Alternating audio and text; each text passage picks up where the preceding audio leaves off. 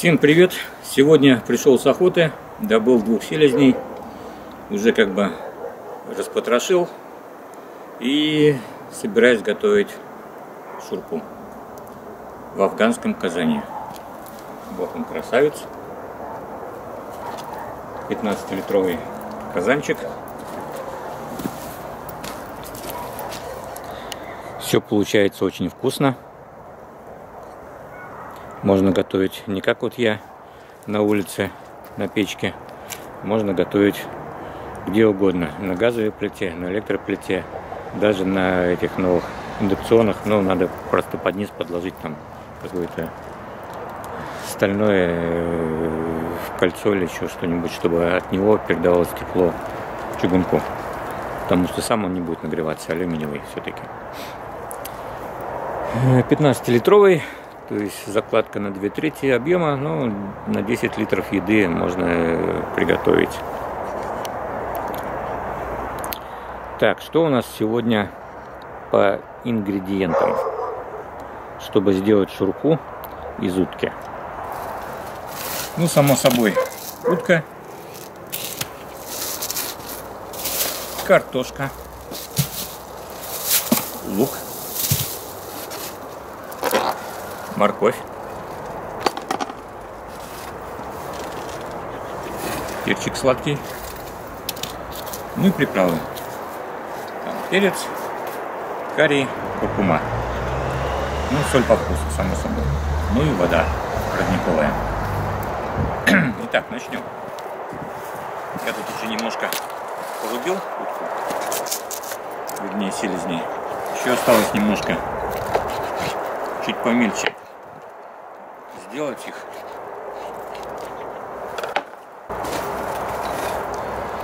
Мясо очень хорошее,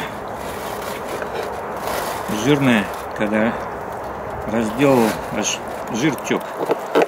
Аж жалко было, хоть бутылку собирай. Такой прозрачный, светло-желтый.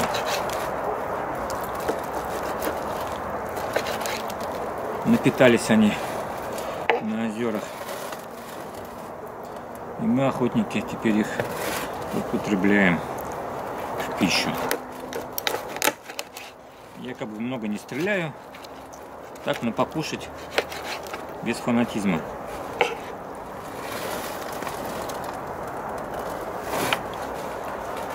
А то многие поедут на охоту, и стреляют там два десятка, а то и более. Куда это потом? Ну ладно, забил ты там морозилку. Поехал ты в следующий раз на охоту. Еще два десятка. Куда? А то еще и лося какого завалят там, блин. На тонну на какую. Миска там, ё-моё. Кабанчик тоже там пару сотен килограмм. Куда вы столько мяса, люди? Опомнитесь. Берите столько, сколько вам надо. Сколько вы можете употребить.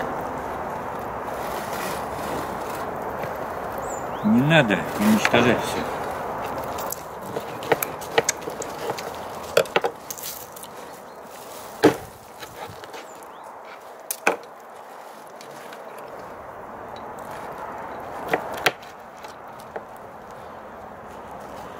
Утка полезная и вкусная еда. Красное мясо. Даже краснее, чем у говядины. Ну, само собой. Вкус такой интересный. Кто пробовал, тот знает. Что тут объяснять. На видео не передашь запахи и вкусы. Может быть, когда-нибудь технология шагнет вперед будут стоять какие-нибудь, не знаю, э, типа ингаляторов, которые будут выпускать запах, выпрыскивать в соответствии с видео. Конечно, до смешного может дойти. Запахи разные бывают.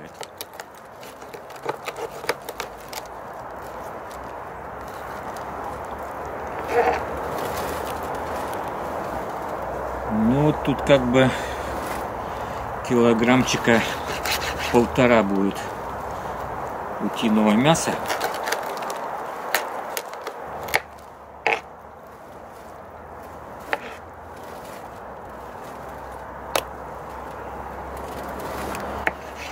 Сейчас еще по-быстрому почищу картофана.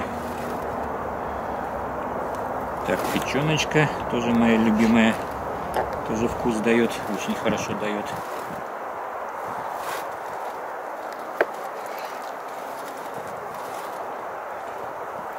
Ну и прям жир, прям.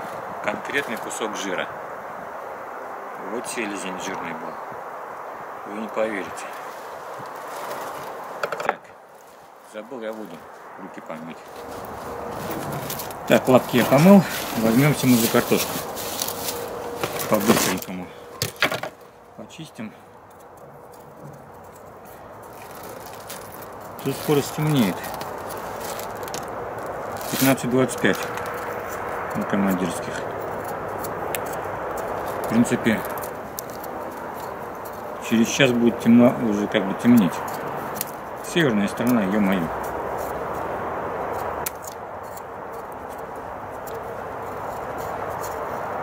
В эту пору года нифига не успеваешь. Встаешь темно. Что-то подвигался, вроде, вроде, вроде как быстро рассвело. Туда-сюда, хоба обед. Еще чуть-чуть. Все, закат солнца. За деревья зашло, все похолодает. Ну и потом, как рубильник выключит свет. Все, темнота.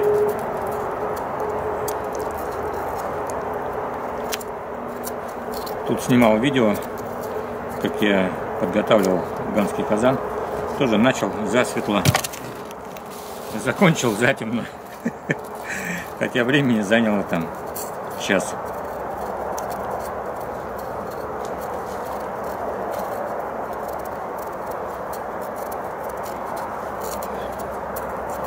Ну вот так вот я быстренько сейчас оприходую картофан. Вы пока попейте чайку или еще чего покрепче. И потом продолжим. Ну вот, не прошло и полгода. Картошка почищена. Я взял три луковицы, уже подготовил. Видимо, от жадности. Достаточно, в принципе, двух. Вы бы, наверное, сказали, не чтоб мясо добавить. Ну или на худой конец картошки, то лука. Ну, в общем, нарезаем лучок. Кому как нравится. Кто полукольцами, кто помельче. Я как бы вот полукольцами нарезал. Ну и потом еще немножко его так вот постругаю.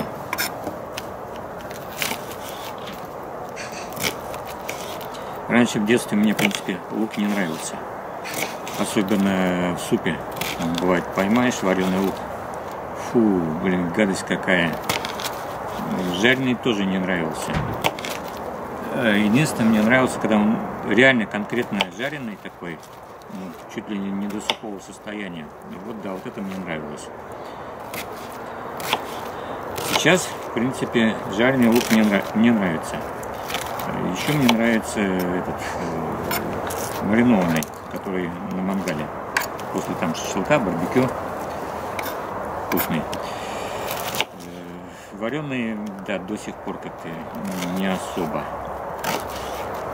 Поэтому я, когда супы варю, я делаю зажарки.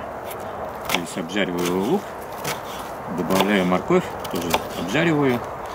Ну и потом уже, когда суп практически готов, там минут 5 до готовности. Вот тогда я туда его добавляю. Тогда вот, да, получается вкусненько. Дает свою изюминку. А вот сразу, чтобы он был там вареный, плавал такими большими кусками. Вот такой склизкий. Не, это не мое. Свежий люблю тоже, да. Бывает черный хлеб, кирпичик, лук, ну и банка сметаны.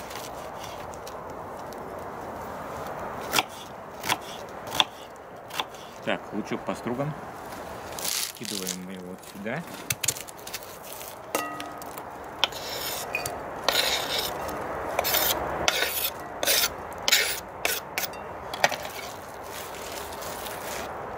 Так, стол замерз, все э, ездит. Так, морковка. Морковка тоже такими, можно сказать, кусочками, как и лук. Можно даже колечками. Я, скажем, на четыре части разделаю морковку. Ну и потом ее пошинкую.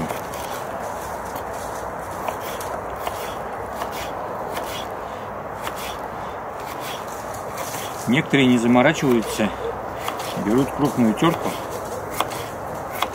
и на крупной терке. Ну и потом тоже в блюдо.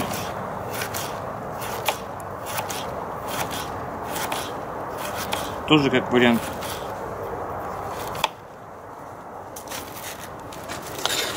Так, морковка тоже вместе с лучком. Следующая.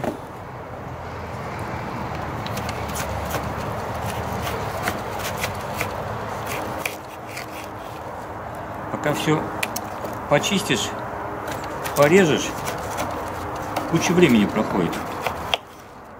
Подготовительные операции всегда занимает больше времени, чем сама готовка. Готовка что там? Поставил кастрюлю, включил огонь, засек время и все, пошел подтягивать пивко еще что там покрепче. Кстати, вы там пьете, не? Я так вообще на трезвую голову все это дело делаю. Даже не знаю, как и получится.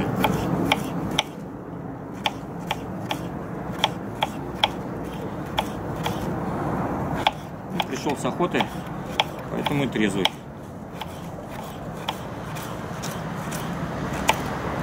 Так бы, да, пивчика бы я бы сейчас. Правда, холодно под еду еще, ладно. Просто нет. Так, картофан.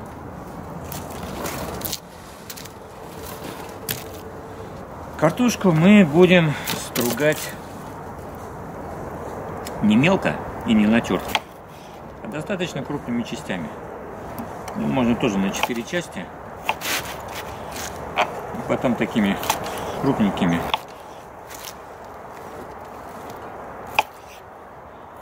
нет смысла ее шинковать до прозрачного слоя.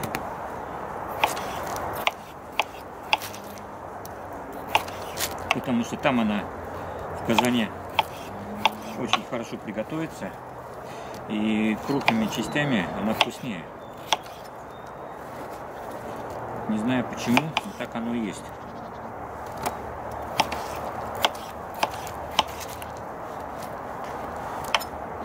Попробуйте, не пожалеете. Крупными частями. Так, картофан отдельно. Потом скажу почему. Так, не разбегаться. Все в кучу.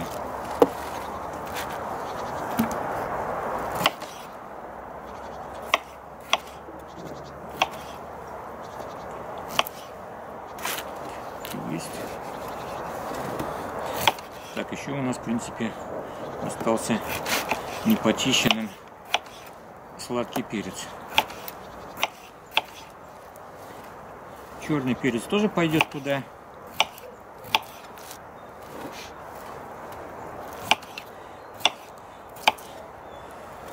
Кто готовит в афганских казанах, знают, но если не знают, то скажу, что приправы добавляем потом потому что так как готовится в закрытом э, этом самом э, пространстве, приправа получается ну, слишком ядреной.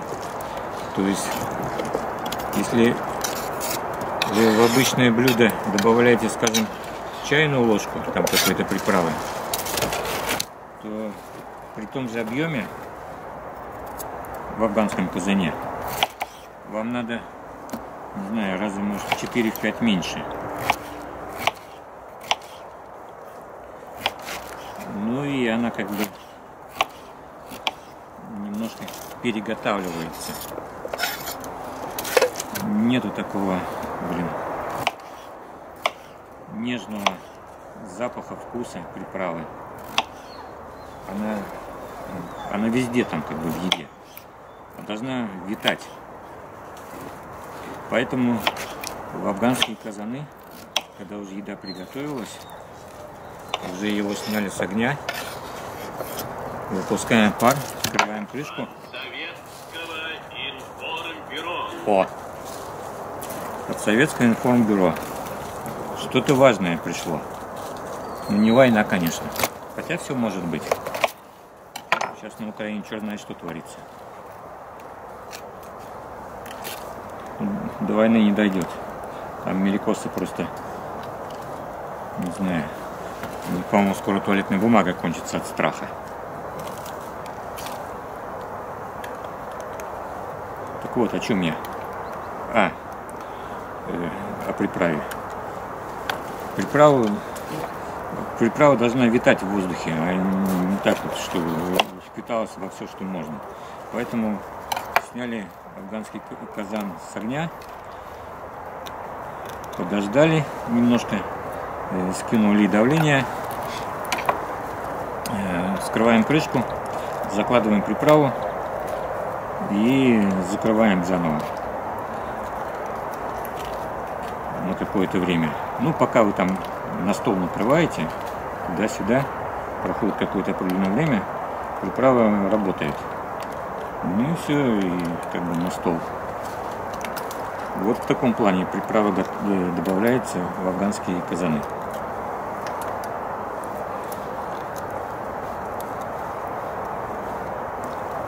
В узбекском казане ну, готовишь, как бы там минут 5-7 до готовности, ну 10 минут до готовности. Добавляем приправу. Так, перчик почистил. Можно, в принципе, нарезать небольшими длинными дольками.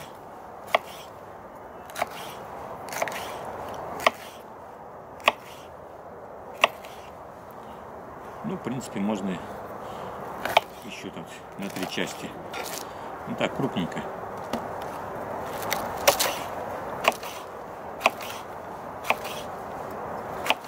Вообще шурпа, она такими крупными кусочками вся идет.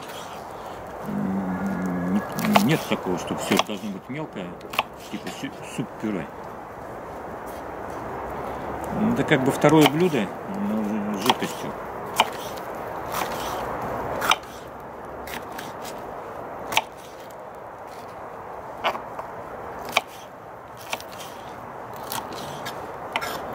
Так, это мы тоже наш перчик положим вместе с луком и с морковкой. Попозже чуть-чуть, через пару минуток я вам объясню почему. Так, в принципе, все готово. Нашинкованное. Можем делать, в принципе, практически закладку. Остался один нюанс. Нам нужно э, разжечь чудо-печку. Вы пока стоите опять попейте чайку, а я разожгу чудо-печку. Забыл еще, для изюминки надо добавить чесночку немножко.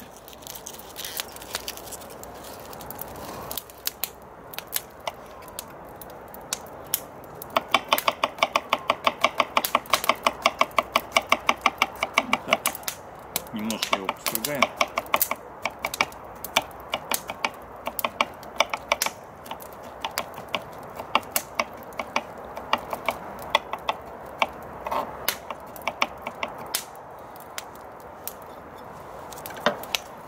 Две крупные головочки.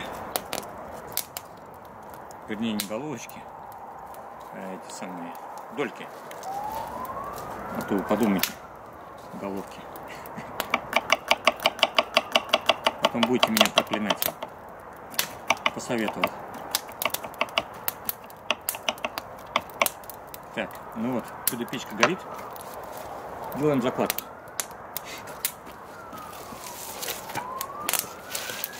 Я чуть-чуть в сторонку. Всем подвинуться.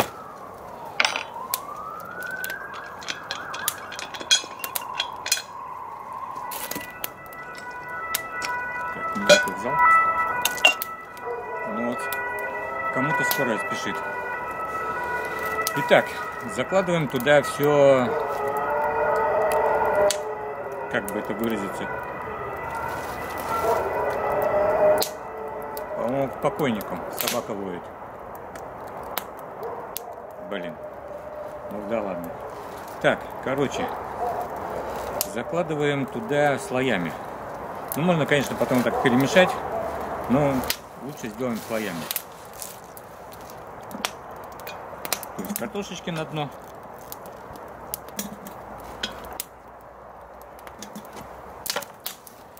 Утка.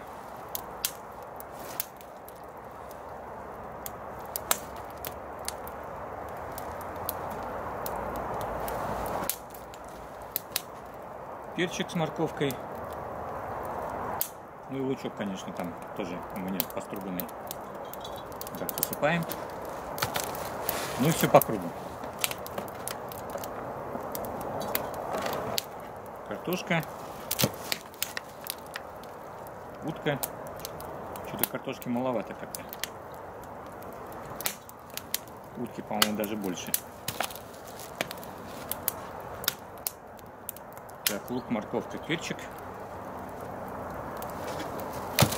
Картошка.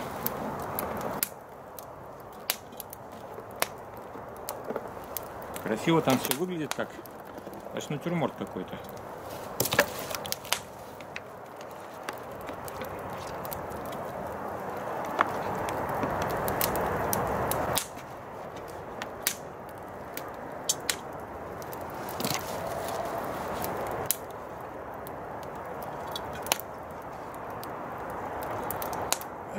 Вкусняшка-то будет.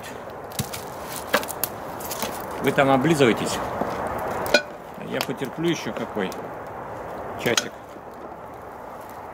Полтора, наверное, даже.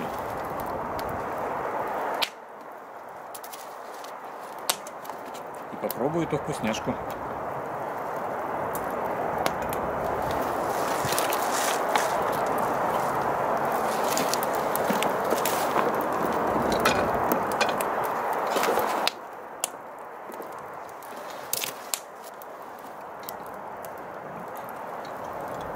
Ну вот, закладка почти готова. Даже, в принципе, я, можно сказать, уложился в лимит. Лимит, это значит,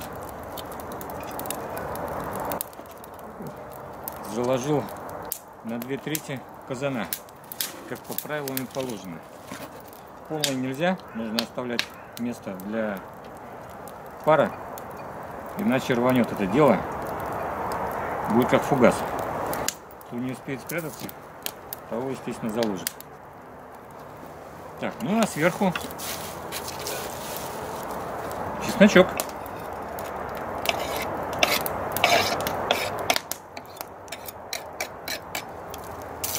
Теперь нам осталось посолить, потому что соль-то нужна. Я как-то человек... Так, где моя ложка-то? Вот она. В принципе, могу без соли есть. Мне лишь бы не пересолена была. Так, раз чайная ложка. Два чайная ложка. Для меня хватит. А вы не знаю как. Добавить-то всегда можно, логично. Ну так вот, я как бы человек, готовящий, можно сказать, практически без соли. Есть соль, ем, нету, ну и фиг с ней. Лишь бы не было пересолено. Так, сейчас я вам покажу вот этот натюрморт. Вот, пока еще светло. Так, куда он зум-то поплыл? Пока еще светло, все это можно видеть. А то сейчас солнце зайдет. Вот, смотрите, как все это выглядит внутри. Красота, не? Логично. Я того же мнения. Красиво. Обалдеть.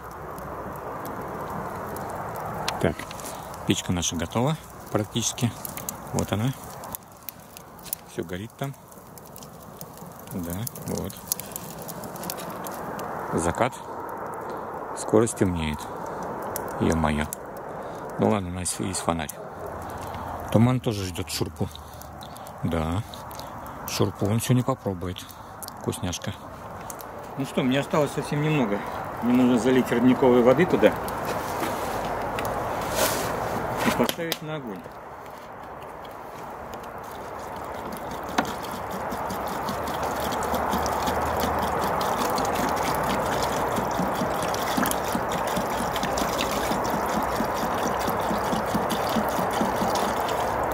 Ну вот, я думаю, хватит. Хотя можно еще чуть-чуть.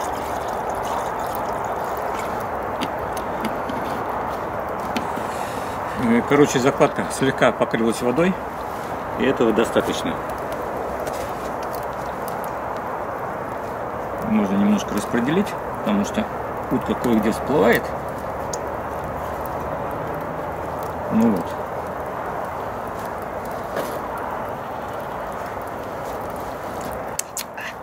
Сырое, правда? Ну ничего.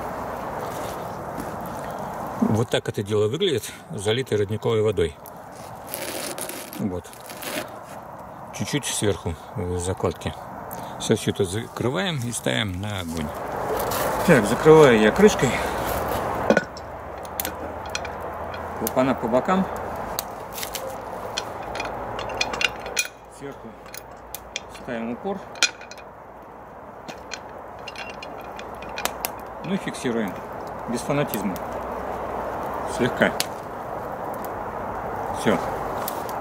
Можно ставить на огонь. Тяжеловатый. Темнеет прямо на глазах.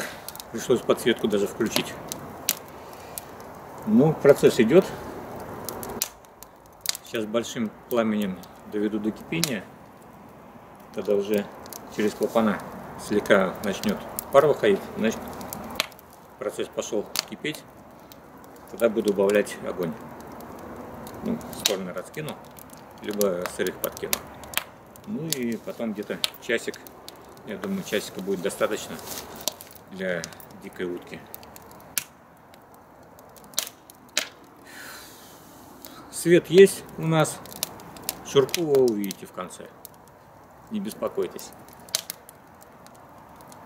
Приправу мы потом добавим еще, когда через час все будет готово. Ну, в смысле, когда закипит, сейчас протикает, как в 17 мгновений весны. Добавлю чайную ложку э, перца черного, чайную ложку куркумы и чайную ложку карри. Это вот на этот объем. Вы можете добавлять меньше. Э, Но если объем у вас меньше, э, либо если у вас больше, тогда больше. Это вот такие пропорции. Все. Пойду пить чай. А в принципе можно было бы даже горячего винчика. Я думаю, сейчас уже минус 2 каких. Этой ночью вообще минус 4 было. На охоту минус 4 сходил утром. Все белое. Туман искупался, ничего так. Ну вот, огонь облизывает казанок. Пламя большое, уже закипел. Слышу по звуку, как работает клапана.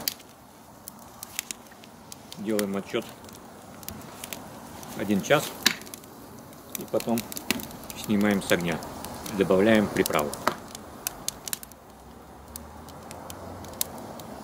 Красиво, не правда? Сам радуюсь. Положительные эмоции в нашей жизни очень важны.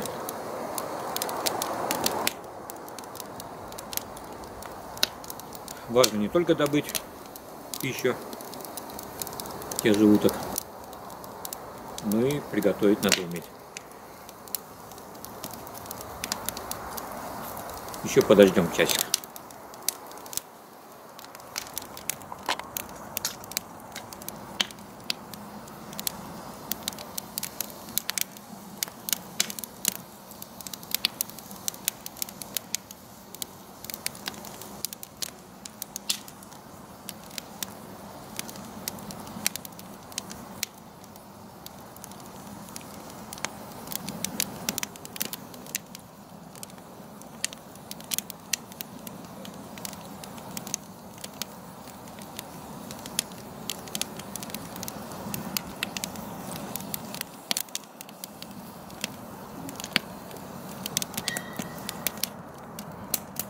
Красиво. Особенно низ казана. Аж светится красным. Вы не подумайте, не раскален.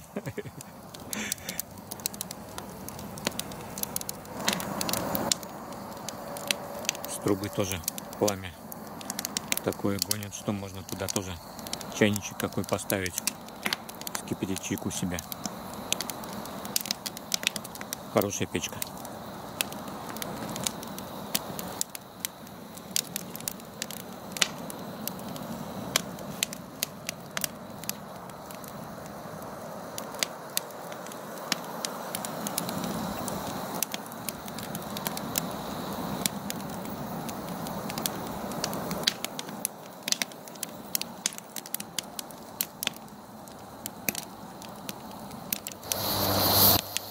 Ну вот пламя меньше стало.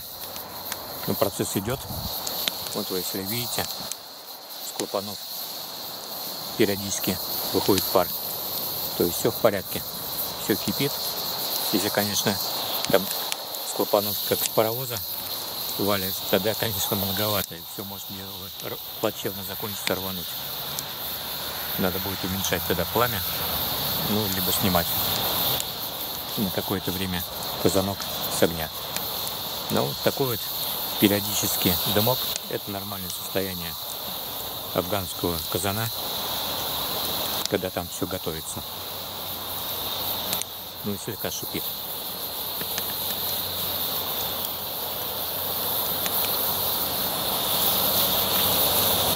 Так что все просто, в принципе. Вот до такой кондиции доводите, когда периодически дымок идет с клапанов нормально. Если с одного клапана идет как бы пар, а с другого нет, это не говорит ни о чем. Что неисправно. Не, не парьтесь. Все нормально работает. Клапана одинаковые. Ну, по весу одинаковые, они в районе 25 грамм. Если будет тяжелее, то давление будет больше, чтобы их поднять. Э, зависит от того, э, почему один клапан работает, а другой молчит, как бы. Это зависит от того, с какой стороны пламя, вот, где больше нагревает. Ну и в какой стране как бы еда больше расположена. Ну вот, например, второе готовите, там гарнир какой-то, там, или жарите что-то там. То есть у вас там на одной стороне больше еды, а на другой как бы меньше. Вот. И там, где больше жидкости, с той стороны будет пар валить. Сейчас как бы шурпа готовится. То есть все равномерно, вы сами видели, я показывал. Все разложено слоями, водичка аккуратно залита, ровненько, то есть все ровно. И поэтому вот э, пар идет одинаково, что с одного клапана, что с другого.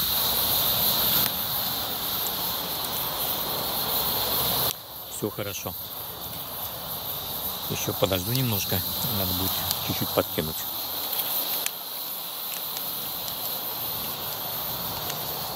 Насчет того, что если вы там прозевали слегка, ну, не подкинули вовремя дровишек, то есть огонь тухнет, э, не парьтесь по поводу этого, потому что казанок достаточно толстый у него стенки, то есть тепло он держит, ему хватает потом, когда вы пойдете, принесете дровишек и кинете, ему буквально там чуть-чуть надо, чтобы опять стартануть.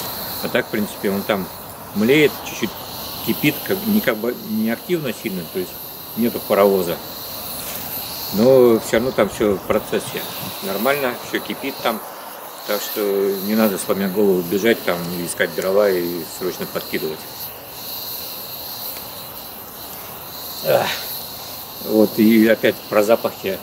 Вот идет э, пар э, из клапанов и запах шурпы. Ну, просто отпад. Я представляю, какая она будет вкусная.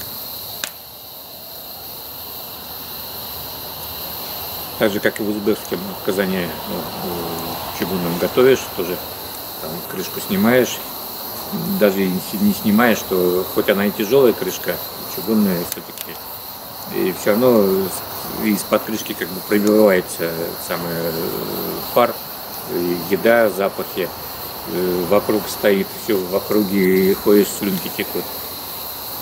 А когда уже открываешь там э, крышку и помешать там вообще классно. Ну так и здесь, вот рядом я сейчас хожу, там периодически подкидываю там по чуть-чуть. И пар идет с клапанов. Запах обалденный. Ну вот, 50% готовности. Полчаса прошло.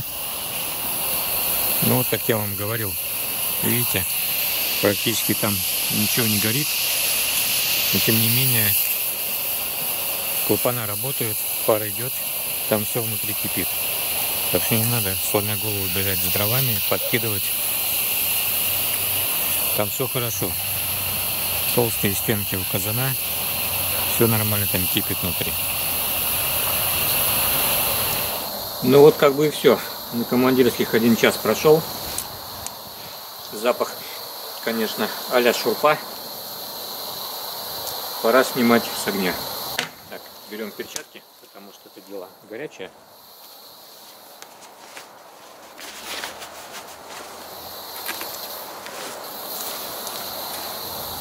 Снимаем с огня.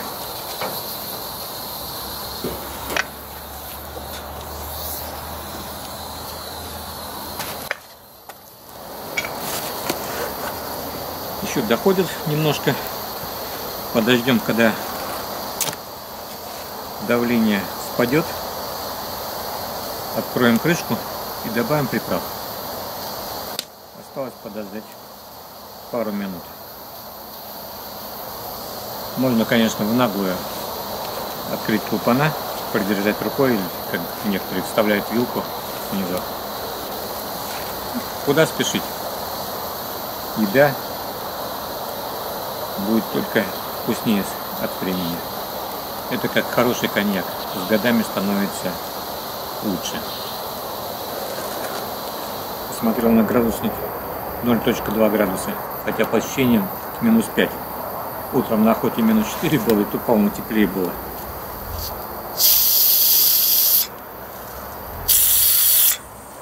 Ладно, подождем. Ну вот как бы все, минут 7, наверное, прошло.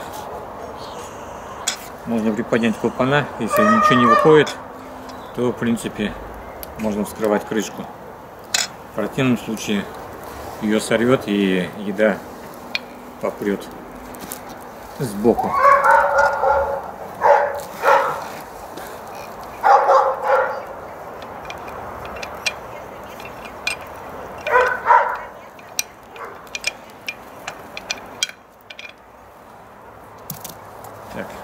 Перчатка.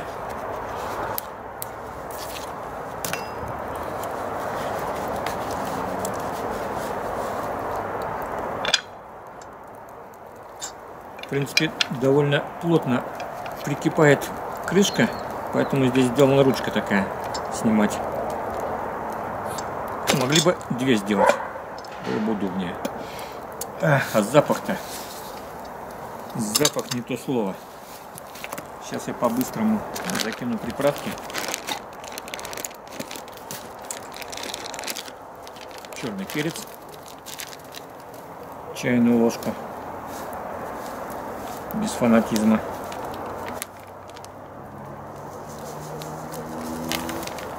Давай уже, засыпайся.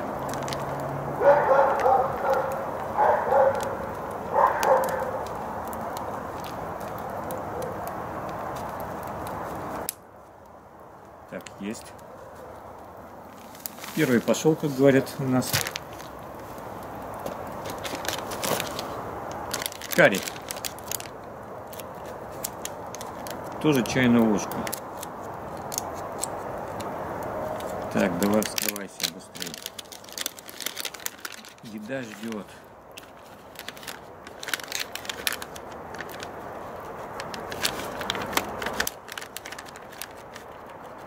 Так, чайную ложечку. Есть.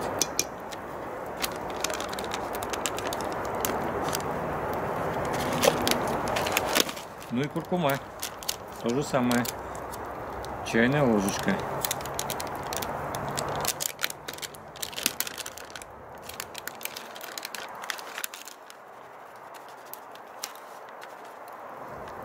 Полезные вещи, кстати, для организма человеческого. Все. Теперь по-быстрому это дело перемешать.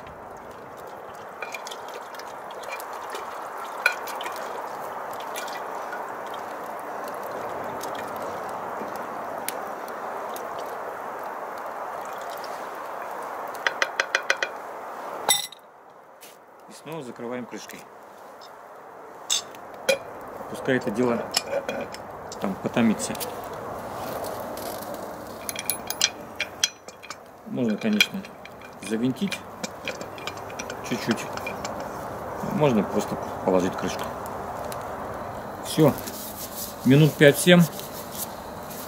В принципе, у меня это все готово. Я уже сходил, принес свою любимую тарелочку, ложку и хлебушек черный. Ну а так, вы, в принципе, пока ходите туда-сюда, стол накрываете, там все это дело томится, и ну, приправы работают. И все, можно подавать на стол. Ну, я так полагаю, пора приступать к трапезе. Время прошло.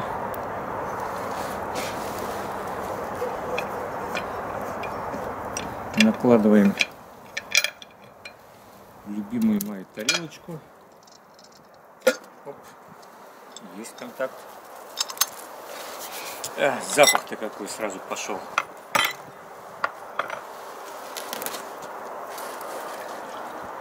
Не то слово из фиски.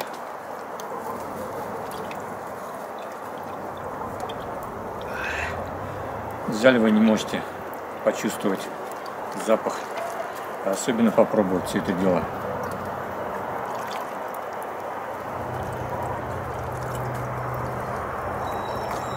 Немножко жидковато, но я люблю погуще, правда. Ну как есть.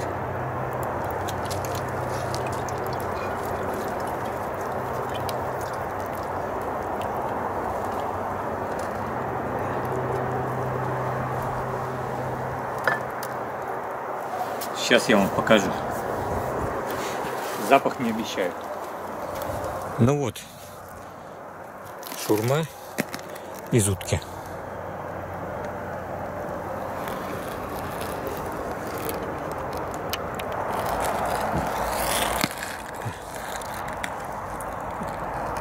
Вот какая внутри.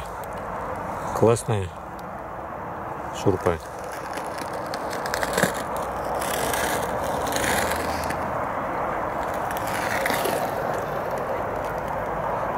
В общем, всем приятного аппетита.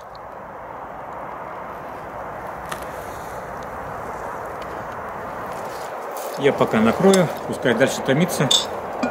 Еда, находясь в казанах, что вот в афганском, что в узбекском, еще, ну, в горячих еще казанах, она доходит и становится еще вкуснее.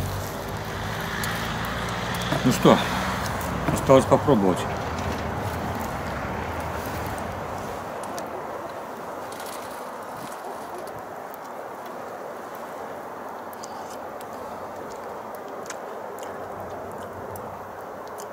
Не то слово. У меня даже не только слов, у меня букв нету.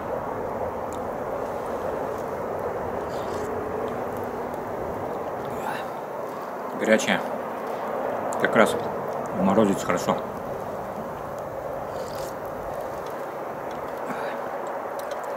И все в меру как бы. И перчик, и куркума, и карри. Соль тоже угадал.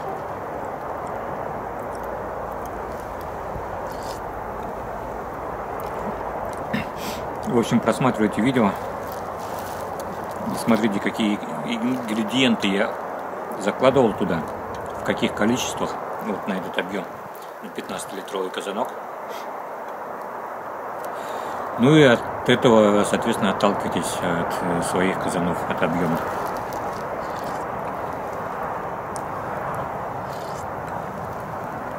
Утка, конечно, тоже обалденная.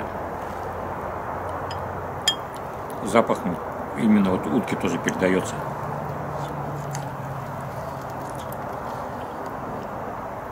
Блин, вот ничем не сравнимое. Вот закрой глаза, тебе дашь утку, э, и ты, ну вот охотник, он всегда скажет, что это утка.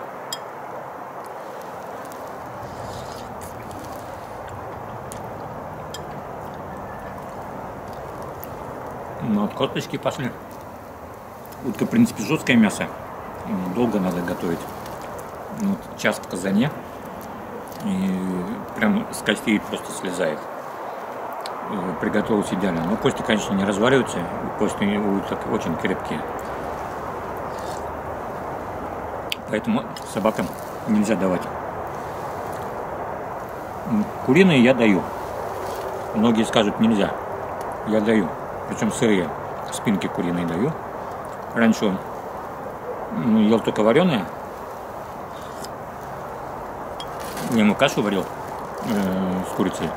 Но он привык, ну, когда молодой еще щенок был, ну, привык к вареным.